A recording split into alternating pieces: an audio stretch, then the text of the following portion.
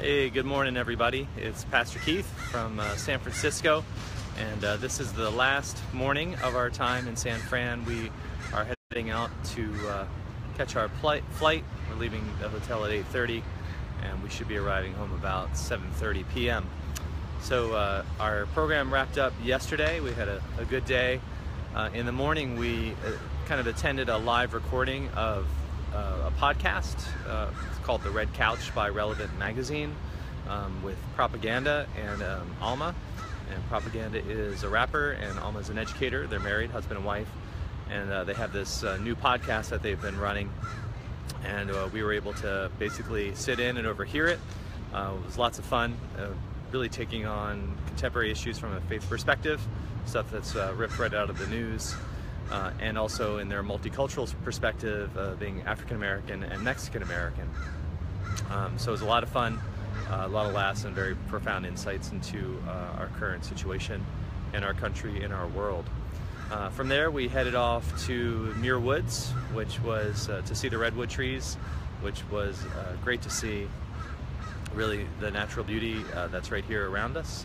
And we spent some time hiking in Muir Woods and just taking it all in and uh, then we stopped at the Golden Gate Bridge. We had to go over the Golden Gate to get to Muir Woods, but then we stopped at the park and got some pictures and were able to take in that scene. It's been foggy and cool here in San Francisco, so um, it's like 62 degrees and foggy.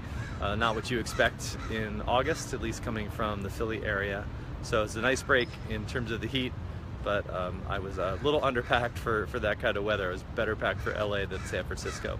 But um, we made it work and we uh, caught the Golden Gate at a time when the fog had lifted. It was a little warmed up, the sun had come out, um, so we got some nice views. And uh, yesterday was kind of a day just to process a lot of what we've experienced. We've been on the go every day, 12 plus hour days, visiting tons of different places, um, really being present to uh, amazing ministries and uh, social enterprises that are meeting the needs of people, not just young adults, but meeting the needs of people, uh, often in a place of the world's brokenness.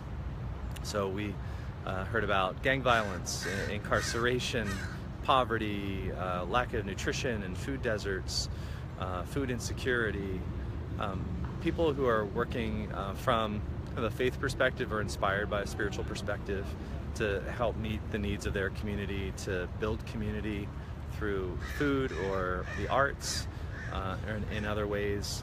So we weren't just going from church to church to church to see what churches do. We were really out in the communities and hearing how these organizations and these leaders um, were identifying the needs in their communities and then partnering together and finding creative and sustainable ways to meet those needs. So for our final session yesterday, once we got back from the woods and the Golden Gate Bridge, uh, we did a um, kind of an innovation um, brainstorming project, for lack of a better word, which was to say, now you've done all these things, what did you see, what did you hear, what did you learn, and how does that start to apply then to your own context? You know, what are the needs in your local community? Where are the gaps? Uh, how can those gaps be met? So it's not just this Zoe project's not just about like creating a youth group for young adults. It's really about asking what are the needs of the young adults in our community uh, and what are the gaps and how can we help to meet those gaps um, and support people in their spiritual lives and um, as they gather make meaning. So it it's not just kind of getting some young adults together to do fun stuff like a youth group but it's really trying to uh, empower them to um, be part of something bigger than themselves. What that's going to look like we don't know yet but we're a lot closer than we were. I think we all have a better sense of the things that are going to be important to us. Um, you know, being able to articulate the why of why we're doing this, the mission and the vision uh, for it, and being focused and clear on that, and who needs to be around the table for us to help to make some of those things possible.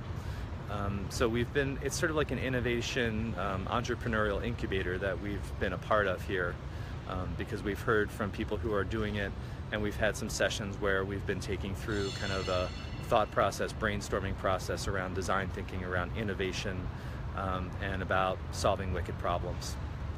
Um, it definitely took us beyond our comfort zone, but in all the right ways, and it opened us up to all kinds of different learning. Um, so it's been a really tremendous experience. I mean, it would take years probably to accumulate all these experiences uh, that we were able to gain in just uh, not even a week here um, in LA and San Francisco. Uh, so it's a great launching off point for us to come home, let it all sink in, and we'll we'll meet again in September, gather some people, more people around the table, um, and uh, keep working on it and fleshing it out. And then we go to Princeton in November uh, for some more coaching, and then back in February too. So first part of next year, things should really start to be taking shape. But we are grateful to Princeton Seminary. We're grateful to the Lilly Endowment. We are grateful for all of our organizers for this trip because it's been uh, really tremendous and um, kind of a once in a lifetime kind of experience. Um, you know, I travel around uh, quite a bit to uh, different churches and different places, uh, and so I'm accustomed to travel and I'm accustomed to think about church things, uh, and this even blew my mind. So that was pretty great. And just to be led along and to be a student was a, a real gift for somebody that's normally uh, the one in charge of most of what's going on. Just to be, uh, just to let it all sink in and just go where they say to go and um, be where they say to be and just listen and learn. So we can give thanks for all those gifts.